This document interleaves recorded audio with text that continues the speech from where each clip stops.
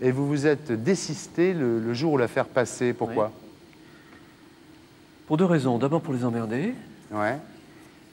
C'est un, un bon motif déjà. Mmh, Et puis ensuite pour euh, euh, parce que parce qu'on me l'avait demandé.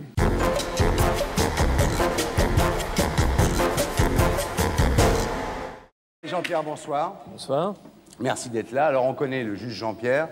On connaît moins bien Thierry Jean-Pierre. Alors, avant de passer euh, euh, au juge euh, et à l'homme politique désormais, euh, je voudrais qu'on parle un peu de, de l'homme. Quand vous étiez petit, vous vouliez faire quoi plus tard? Euh, je voulais être archéologue Mmh. au début, parce que je lisais les, les contes et légendes de la Grèce ancienne, Mmh. et ça me passionnait, je voulais être à tout prix être archéologue. J'étais tellement nul en latin et en, et en, et en français à l'époque que- qu'il a fallu que je fasse autre chose. Je n'avais pas de vocation particulière. Vous avez déjà la manie de fouiller quand même. Oui, Ouais. c'est d'ailleurs ce que me disait mon prof de droit pénal. Il me disait, Ouais. euh, euh, qui était déjà juge d'instruction avant d'être euh, prof de droit, il me disait, mais euh, l'instruction, c'est comme, c'est comme une fouille archéologique. C'est-à-dire il faut les Ouais. Mm. trouver, le morceau de vérité, puis essayer de les reconstituer pour essayer de, de- de faire sortir ce qu'il en est. Pour certains, il eût mieux valu que vous ayez été archéologue que juge. On va y venir. C'est arrivé comment, juge? L'idée d'être juge? Un peu par hasard, Mm. parce que j'étais, j'étais, euh, j'ai fait une licence en droit, Mm. je voulais faire médecine au départ, et puis à la première autopsie, j'ai vu que ça me convenait pas tellement. J'en ai fait dans un autre cadre après. Ouais. Et euh, donc euh, j'ai fait du droit, et puis en faisant du droit, il fallait que je, il fallait que je, je paie ma troisième année de fac. Et là, il y avait des concours administratifs. J'ai passé un concours d'inspecteur du Trésor. Je me suis très rapidement ennuyé. Et j'ai- je suis devenu magistrat, mais pas par vocation. C'est pas une vocation par- au départ Pas du tout. Ouais. Pas du tout. Alors, vous êtes marié Oui. Vous avez des enfants Oui, quatre, petits. Combien Quatre enfants Ouais. Ah oui, je comprends, on y viendra plus tard, mais je comprends pourquoi vous êtes euh, copain avec De Villiers, parce que lui, il en a... Ça n'a rien à voir. Avant Absolument Il en a, je sais pas combien, 6 ou 7, non Euh, sept, je crois. Oui, c'est ça. Quand vos enfants vous, vous demandent ce que vous faites comme métier, vous leur dites quoi euh, euh, Zorro Je leur dis juge. Ouais. Ils comprennent. Et vous leur expliquez Ils comprennent parce qu'ils non, ils jouent aux gendarmes et aux voleurs. Ils savent très bien ce que c'est qu'un, ce que c'est qu'un juge. Est-ce qu'un juge médiatique a droit à une vie privée? Est-ce que vous êtes surveillé? Tout à fait, mais il suffit de, il suffit de refuser des photos, de, des photos avec ses enfants, avec sa famille ou chez soi, et puis ça se passe très bien. Les photographes comprennent très bien ce type de contrat. Vous croyez Et puis il y a des... Ah oui, tout à fait. Et puis quand, euh, quand ils savent qu'il y a des procès qui sont possibles, ils comprennent très bien. Il se méfie avec vous, oui. Oui. Alors, vous êtes devenu comment le juge Jean-Pierre? C'est l'affaire Urba qui vous a rendu célèbre. hein Non, c'est pas. C'est la, la première, la première fois où on a parlé de nous. Je dis de nous euh, intentionnellement. C'est quand après la loi d'amnistie, on s'est dit c'est pas possible, c'est scandaleux ce qu'ils nous font. Une, ils ils s'amnistient de leurs délits alors qu'ils sont les représentants de la nation. Et euh, on a décidé de, de- de libérer des, des petits délinquants, pas des meurtriers, pas des, mais des, des- des voleurs, des, des- récidivistes qu'on avait mis en prison. On s'est dit c'est pas possible puisqu'il y a un, une nouvelle, un nouvel ordre public qui les impose, qui nous impose un nouvel ordre public. On va en tirer toutes les conséquences juridiques. Et on a libéré les, un certain nombre de personnes et ça fait scandale évidemment. Et l'affaire Urba, alors, ça, pas la raconter ici, mais en gros, si vous deviez la résumer, En gros, euh, je suis encore soumis au secret de l'instruction, donc c'est un peu difficile. Je vais vous parler du financement des partis en général. Ouais. En gros, euh, certains partis euh, avaient pris pour mauvaise habitude et continuent à le prendre pour certains d'entre eux d'ailleurs, parce que ça n'est pas fini, l'habitude de raqueter les entreprises en demandant des commissions pour financer euh, pour partie les campagnes et pour partie les hommes politiques eux-mêmes. Et donc euh, tout ça était absolument impuni jusqu'à présent et on a été quelques-uns, euh, aussi bien au niveau des- de la gauche que de la droite, à réagir. Actuellement, il y a une affaire qui, qui est en cours à Rennes euh, sur le parti républicain. Il y en a eu Mmh. Mais comment vous vivez ça communiste. alors Parce que vous êtes sur la liste de, de- de Philippe de Villiers qui fait partie du, du Parti républicain, même s'il n'est pas euh, orthodoxe par rapport à, à Gérard Longuet, euh, euh, François Léotard, Alain Madelin. Mais comment vous vivez ça? C'est-à-dire comment vous pouvez à la fois euh, effectivement partir en guerre contre l'argent sale des partis et puis vous retrouver euh, associé. Comment lui le vit-il en tous les cas? Parce que Oui, c'est à lui de lui poser la, de Ouais. poser la question. hein, Parce que Mm. moi, je le vis très bien. Euh, J'ai toujours la même ligne de conduite, que ce soit à gauche ou à droite, c'est exactement la même chose. Et il est absolument nécessaire que les partis se financent légalement et n'aient pas besoin de, comme ça, d'argent liquide qui va on, on ne sait, on ne sait où. Donc, euh, moi, je suis tout à fait clair. Et je crois que lui est tout à fait convaincu aussi. Mais vous êtes devenu célèbre, vous avez publié deux bouquins. Est-ce que vous aviez un vrai désir d'être connu, un désir de reconnaissance Au fond, sérieusement, sincèrement? Oh, je crois qu'on est tous un peu exhibitionnistes. oui. Bien sûr. Ah ben moi, quand on fait Bien le boulot sûr. que je fais, c'est sûr. Oui, Mais moi quand on est maintenant, juge- un peu. Hmm. Quand on est juge, non, a priori, mais, euh, mais on a tous une part d'exhibitionniste, oui, évidemment. Mais c'est pas, pas du tout ce qui prime. Ce qui prime, c'est ce qui motive un, un combat, quel qu'il soit, c'est pas l'exhibitionnisme, c'est quelque chose qui vient en plus. C'est le, c'est le- c'est l'intégrité, c'est le, c'est l'injustice, c'est insupportable pour nous, c'est insupportable. En tout cas, vous avez toujours pris grand soin des, des journalistes. Vous les receviez dans votre bureau pour leur filer des infos, c'est vrai ça? Premier membre de la phrase. Je les recevais dans mon bureau, pas pour leur donner des infos. Mmh. Vous savez, la- les, les rapports entre journalistes et juges d'instruction sont, sont compliqués. Mmh. Et quelquefois, ce que, ce que le public ne sait pas, c'est que quelquefois, on empêche que des informations sortent. Mmh. D'abord parce que c'est embêtant pour l'enquête, et ensuite, on empêche que des noms soient donnés. Mmh. les journalistes jouent assez bien, encore une fois. Le- sont d'accord pour, euh, pour ne pas donner certains noms quand il ne faut pas les donner et pas les, les jeter en pâture comme ça. Mmh. Il y a beaucoup de noms, quand même, de plus en plus de noms qui sortent pendant les, les instructions maintenant. Oui, mais pour une raison toute simple. Le secret de l'instruction, c'est- une règle de procédure pénale Ouais. et qui est imposée seulement à une certaine catégorie de gens dans Mmh. l'instruction. Les avocats ne sont pas soumis au secret de l'instruction, les, les mis en examen non plus, Mmh. les parties civiles non plus. Qu'est-ce qui se passe? Ben, Quand un secret euh, est valable pour une certaine catégorie et pas pour une autre, ben, l'autre catégorie le Mmh. dit. et C'est ce qui se passe à chaque fois. Vous ne trouvez pas dans l'affaire au MVA que euh, le juge Béfi, le procureur Montgolfier ont, ont un peu trop alimenté la presse, ont- sont un peu trop servis des médias, non? Béfi, pas du tout. Euh, Montgolfier, oui, bien sûr, mais au début c'était bien contre tapis, parce que contre tapis, il n'y a qu'une seule façon de, au, départ tout au moins, de, de le répondre, c'est de lui répondre au culot, c'est-à-dire d'y Ouais. aller. Et puis s'il faut parler aux, aux caméras, il faut lui dire, euh, faut lui dire ce qu'il il faut dire qu'il est un battleur, il faut dire que c'est un c'est un parvenu en politique, il faut dire tout ça, il faut dire que qu'il a des méthodes qui sont des méthodes qui ne sont pas qualifiables. Il l'a regretté, Montgolfier. Il a dit que peut-être il avait trop euh, alimenté Oui, la presse, trop fait de déclarations. Quand il a commencé à répondre au président de la République, il a été convoqué, là ça commençait un peu, Ouais, un peu être embêtant. ouais. Vous avez sorti l'affaire du prêt de euh, Pelat à Bérégovoy, le million qui avait été prêté par Pelat à Bérégovoy et pas entièrement remboursé. Tout le monde connaît cette affaire. Lorsque Pierre Bérégovoy s'est suicidé, vous êtes senti coupable? J'ai toujours refusé de répondre aux questions sur la mort de Bérégovoy pour plusieurs raisons, comme sur la mort de De Grosso, qui était aussi cité dans le dossier, pour plusieurs raisons. La première, c'est que, c'est que une mort, et tout particulièrement un suicide, n'appartient à personne.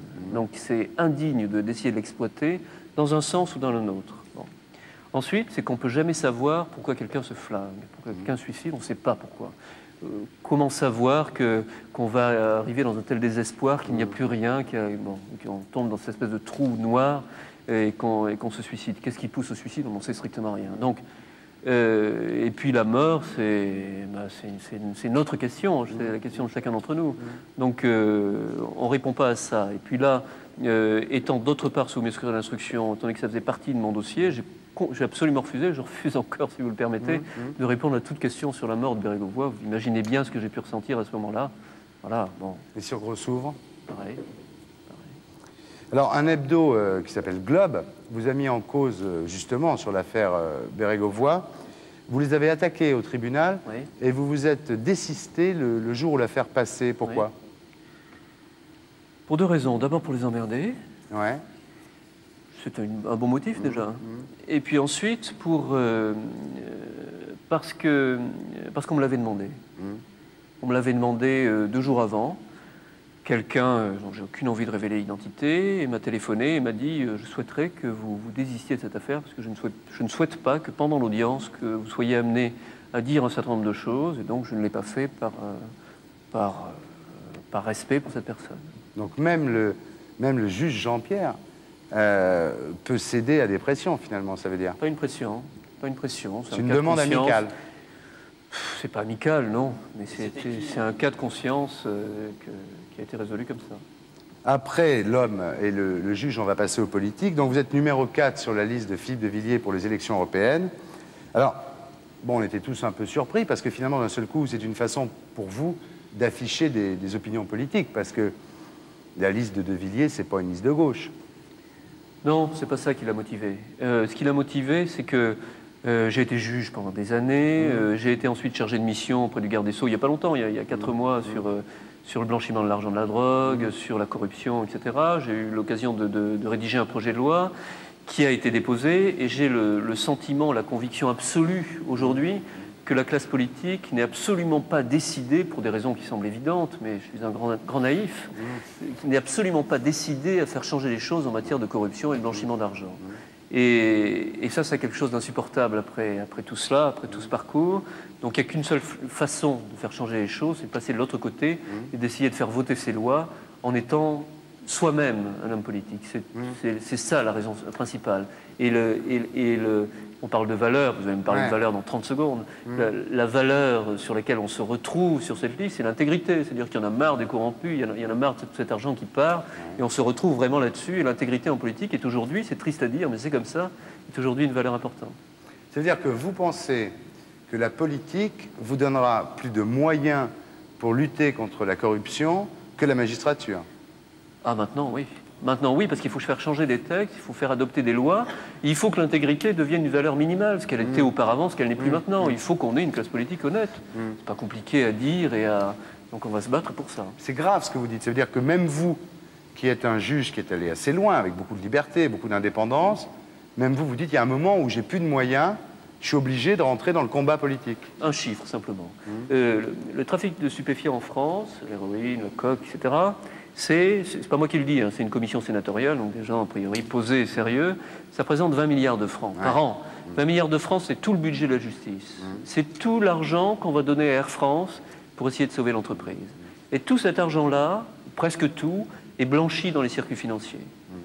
Personne ne fait rien. Tout le monde s'en fiche. Et vous pensez que quand vous serez député européen, vous aurez les moyens de... Écoutez, c'est le début d'une aventure. J'espère ah. qu'elle va, qu'elle va continuer. J'espère que le combat politique va continuer. va continuer là-dessus. Donc les élections européennes, c'est une chose. On se bat aussi pour une Europe judiciaire, etc. Mais j'espère bien que ce n'est qu'une étape. Sinon, mm. tant pis, ce sera, Oui, le jour où vous, avez, vous êtes déclaré euh, comme numéro 4 de cette liste, un, quotidien a dit euh, le juge Jean-Pierre tombe le masque. Vous n'avez pas peur de décevoir plein de gens pour qui vous étiez apolitique, pour qui vous étiez un, recours, vous étiez un symbole, et d'un seul coup ils disent, bah non, finalement, lui, en fait, s'il a euh, tellement emmerdé les socialistes sur Urba, c'est parce qu'il était de droite. Vous n'avez pas peur de décevoir beaucoup de gens? Vous voulez qu'on reparle du PR pendant quelques temps Pour prouver que je ne suis pas tout à fait euh, du Parti républicain Non. Vous savez, à chaque fois qu'il y a une affaire qui met en cause un homme politique qui sort, que ce mm. soit Noir, que ce soit Tapi, que ce soit Urba, que ce soit n'importe qui, mm. vous verrez qu'au bout d'un moment, quand les faits commencent vraiment à s'accumuler, que ça commence vraiment à l'ennuyer, l'homme politique mm. en question, vous voyez que vous verrez à chaque fois qu'il parle de complot. Chaque fois, il y a un complot. Ce sont des juges, ce sont des journalistes, je ne sais qui encore. À chaque fois, il y a un complot. C'est toujours la même chose, c'est toujours la même rengaine. Moi, je n'ai pas de credo euh, politique particulier. La corruption, il n'y a pas de corruption de droite ou de corruption de gauche. Il y a une corruption tout court. Il y a des... Vous n'avez pas peur quand même le, Philippe de Villiers a quand même une image qui se situe comme ça sur l'échiquier politique, un petit peu entre le RPR et, le Front National. Ça vous embête pas, ça? Philippe de Villiers n'est pas d'extrême droite. Je n'ai pas dit qu'il était d'extrême droite. J'ai dit qu'il se situait entre le, le, RPR, disons, et puis le, Front National. Je n'ai pas dit qu'il était d'extrême droite. Vous savez, on, est quatre, les quatre premiers de liste, on est totalement différents. On a des parcours différents, on a des idées différentes. Vous nous mettez tous les quatre autour d'une table, on, parle de la peine de, mort, on a, on a, deux avis différents. Il y a deux pour, deux contre. Sur l'avortement, c'est pareil. Donc, euh, on a des parcours différents et on essaie de se retrouver sur un certain nombre de choses. Vous n'avez pas peur, donc ça, ça entache votre action, cette, cette non, je pense que je pense qu'au contraire, ça peut si, si on y arrive, si on nous fait confiance, ça peut, ça peut faire exactement le contraire. On peut vraiment initier autre chose. C'était le cas en Italie, ça a été le cas ailleurs, pourquoi pas chez nous. Vous avez des ambitions politiques à plus long terme? Celle-là. Silvio Berlusconi a proposé au juge Di Pietro de devenir ministre de l'Intérieur. Est-ce que vous, vous voyez ministre de l'Intérieur? Sous un gouvernement tapis? Non. non, merci. Sans façon. Ouais. Mais sous un gouvernement de Villiers? On verra pourquoi pas Ouais. Dites pas non quand même. Il faut jamais dire non. Qu'est-ce que ça va Que va être le paysage politique d'ici 20 ans? On sait rien. 10 ans. Vous n'avez pas peur en entrant en politique de, devenir comme ceux que vous avez combattus? C'est-à-dire de piquer dans la caisse et de le planquer Pas de piquer dans la caisse, mais de devenir plus, plus souple, non? Vous avez, pas, vous avez confiance en vous, vous savez, euh, la chair est faible, l'homme euh, est faible. Vous n'avez pas peur finalement euh, devenant un élu européen. Je crois que quand, on a, quand on atteint la quarantaine, je crois que les, les, structures sont faites. Mhm. C'est-à-dire on a, euh, on a une personnalité, on a une structure intérieure qui est faite. Donc mhm. euh, je crois que la mienne est à peu près faite et mhm. qu'il y aura sûrement des, des, choses qui évolueront. Mais je ne pense pas que la structure euh, fondamentale changera. Vous n'avez pas peur, devenant non pas un homme politique, mais enfin quelqu'un qui se présente sur une liste pour des élections, d'avoir à répondre à des questions auxquelles vous n'avez pas envie de répondre? Par exemple, je vais vous en poser une Vous savez que l'Allemagne vient de dépénaliser les drogues douces, par exemple. Qu'est-ce qui se passe en France aujourd'hui? Vous croyez qu'on arrête les gens et qu'on les juge pour usage de stupéfiants? Soyons plus clairs que ça. Et revenons sur le jugement de la Cour suprême de, Karlsruhe. Mmh. Euh, Qu'est-ce qu'elle dit? Elle dit euh, quand on a jusqu'à 5 ou 10 grammes, je ne me souviens plus des, grammages, des, des, grammes exacts, Mmh. de, de, de shit sur soi, sur sa, cons- pour sa consommation personnelle, mais on n'arrête pas les personnes. Qu'est-ce qui se passe En France, on ne juge pas les personnes pour 5 grammes de, de- en possession. On juge au-dessus quand il y a un trafic, quand il y a, des, quand, quand il y a véritablement des flux financiers, une économie souterraine, etc. Ouais. Là, là, là, on essaie de voir, là, on remonte les filières, mais sinon, c'est pas vrai. Vous pensez qu'en France, c'est déjà dépénalisé finalement? De fait, oui. De fait. On Ouais. condamne plus maintenant pour, euh, pour simple usage à 5 grammes de, de shit. Ouais. 5 grammes de cocaïne, ok. euh, Ouais. 10 grammes d'héroïne, d'accord. euh, ou 1 kilo de shit, oui, mais Vous avez déjà fumé un pétard? Ça. Ah ouais, c'est des questions auxquelles Ah. vous allez avoir à répondre. Hein À La Réunion, c'était pas du shit, c'était du zamal. Ah, Je ben vous voilà. le dis pour votre euh, On culture personnelle. vous croyez en quoi par la justice? Euh, Et il est bon en politique, il répond pas aux questions, t'as vu? C'est encore Baffy, ça, non? C'est Baffy. Le juge Baffy. Le juge Baffy. Euh, Vous croyez en la justice divine? C'est un peu plus compliqué que ça. Ouais. Hmm. Vous pensez que Philippe de Villiers a des chances d'être président de la République? Pourquoi pas? Ouais, Là, il fume, hein. Pourquoi pas? Ça se voit là. et si, et si Bernard Tapie devenait président de la C'est pas République? du shit, c'est de la coque. hein. Ouais. Et si Bernard Tapie devenait président de la République? Je vais en Suisse. Ce qui est affolant avec Bernard Tapie, c'est qu'il n'y a personne pour l'arrêter. C'est que euh, on a l'impression que la droite se satisfait parfaitement qu'il qu'il soit en train de manger comme ça la liste de Rocard, que- qu'il est devenu le fils spirituel du président de la République, enfin, pardon, de François Mitterrand, attaque jamais le président de la République, et, que, et que tout le monde y trouve son compte, et qu'il a une autoroute devant lui. La justice est incapable de l'arrêter. Il fait du, de- il a aucun programme, il fait, il se contente d'arriver, d'avoir une certaine gouaille et de gagner des voix. Il continue à monter dans les sondages. C'est terrible, Tapie. Terrible. Berlusconi, par exemple, ça vous inquiète? Berlusconi, oui, ça m'inquiète. C'est un peu différent. Non, pas tout à fait pareil, parce que Berlusconi, lui, a véritablement gagné en affaires. Il a véritablement construit quelque chose. Il a un empire individuel. On, on pense ce qu'on pense Berlusconi. Moi, je pense beaucoup de mal. Ouais. Mais, euh, mais, mais par rapport à Bernard Tapie, il a, euh, il a au moins, il n'a pas mis euh, 4000 personnes sur le carreau. Ouais. Et pour être sûr de ne rien rater de Inarditube, abonnez-vous et mettez un pouce bleu.